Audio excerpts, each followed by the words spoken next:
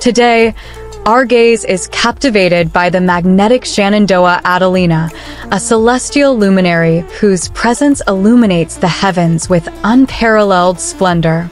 Known among the elite as a beacon of sophistication and taste, Shannondoah Adelina effortlessly blends refined elegance with a zest for life's most exquisite flavors. Her culinary journey is a symphony of indulgence and discernment.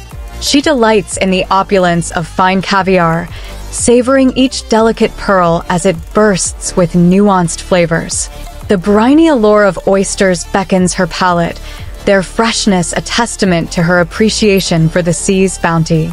Yet, amidst these luxurious indulgences, Shannondoah Adelina finds equal pleasure in the simple pleasures that evoke pure joy, the velvety richness of artisanal chocolate, the creamy decadence of hand-churned ice cream, the melt-in-your-mouth perfection of a perfectly seared steak, the umami explosion of meticulously prepared sushi, and the comforting crunch of a well-crafted taco.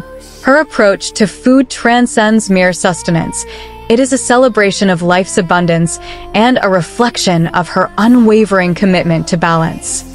Mindful of her well-being, Shannondoah Adelina follows a disciplined yet joyous approach to eating. Hydration flows effortlessly through her routine, the clarity of water a constant companion. Every meal is a deliberate symphony of flavors and nutrients, ensuring a balance of protein-rich delicacies and nutrient-dense snacks that nourish both body and soul. For Shannondoah Adelina, the journey through food is as much about savoring the moment as it is about nourishing the spirit.